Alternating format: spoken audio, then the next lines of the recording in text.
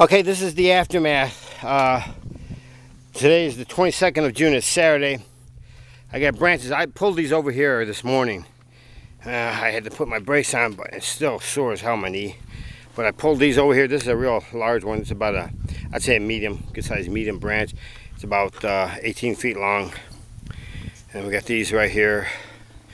And you see like all over the yard. It's fogging up because humidity is so high gosh. Uh, you got small branches like this, little pieces of branches over there, over there, over there on the yard.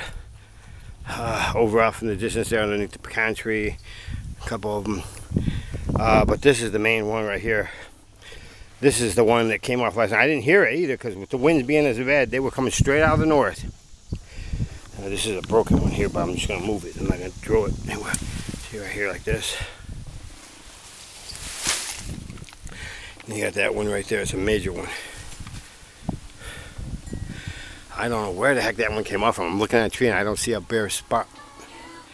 But, uh, yeah, trying to get this recorded that uh, you got mail is probably my wife uh, texting me because I thought we just got back from the dump with Petey boy enjoying his ride. He was sitting so proud. Branches over there. Uh, you can see that branch over there.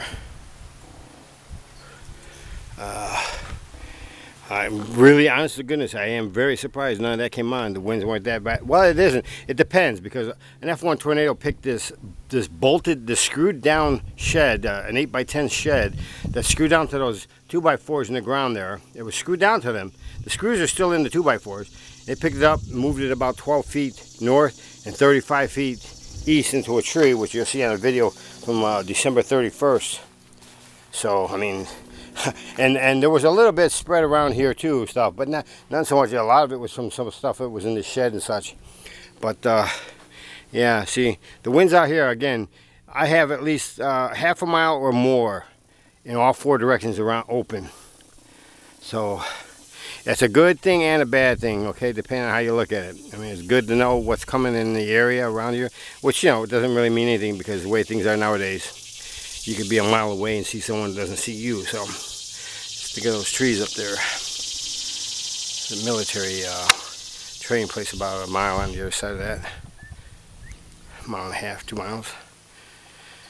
Anyway, I just wanted to get this video on here to show you the, the uh, the branch. I haven't done anything with this because I can't move it by myself to begin with. But, uh, yeah. That's how it looks out back here.